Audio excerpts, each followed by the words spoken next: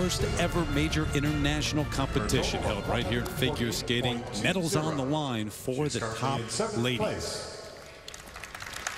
So stepping onto the ice, I want to take you back to Sochi and the Olympics not that long ago, a few seasons ago. Look at this with the hat. Yulia Lipnitskaya, one of the heroes, led them to a gold in the team competition, overnight sensation, star across the country.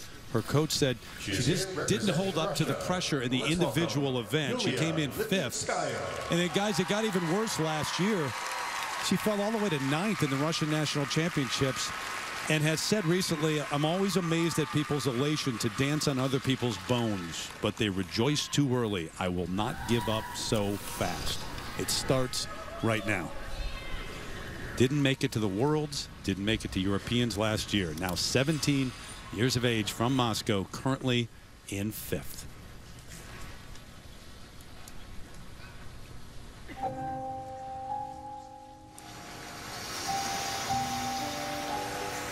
What a difference a year can make. In practice, her skating is barely recognizable this season.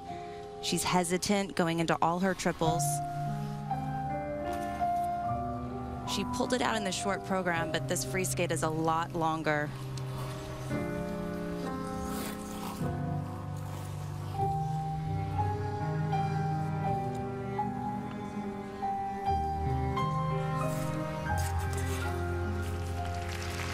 She had trouble on that triple flip in the short program and again here in the free skate.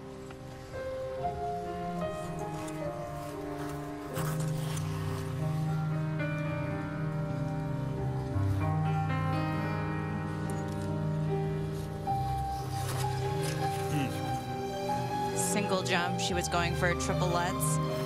She doesn't have a triple-triple planned. It's crazy to think in 2014 at the Olympics, this girl was known for her triple triples. And she's barely hitting just single triples.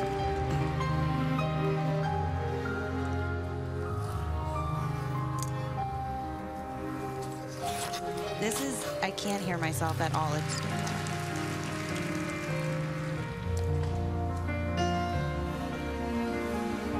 You guys know it as well as anyone how quickly things change and how quickly they can disappear in this sport. I mean, she was on top of the world in Sochi. And, and even during that short time, remember, from the team competition to the individual event, she got so much attention that it started to change her. And this is according to her coach, Terry Tutberidze.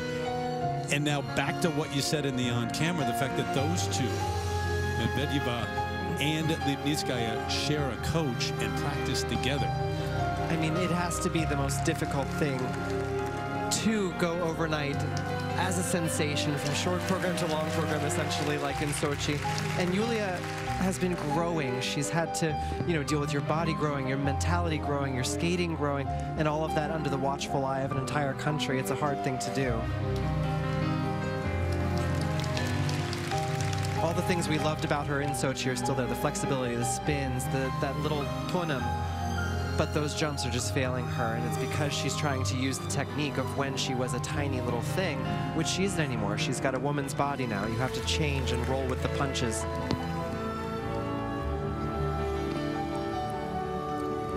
My thing is also completely messed up. My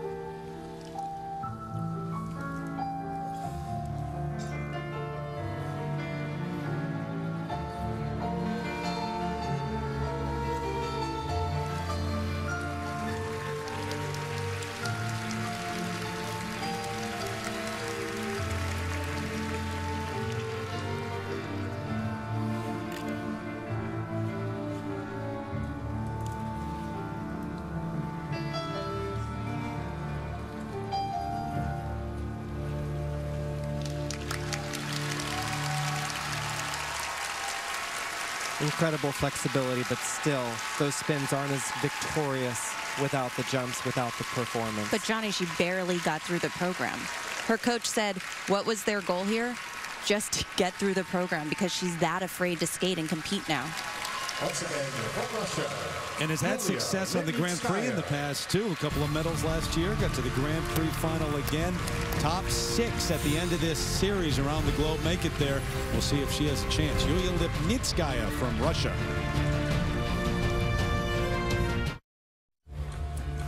Next up on the ice, the 16-year-old from Fremont, California, Karen Chen. Just getting things started on the senior level, but did so in the big way last year. Take a look at what people are saying about today's competition. Realtor.com real-time update. So the Instagram from Karen Chen with her credential and Kristi Yamaguchi, who's been a big influence on her skating her life, sends this back. Best of luck, Karen.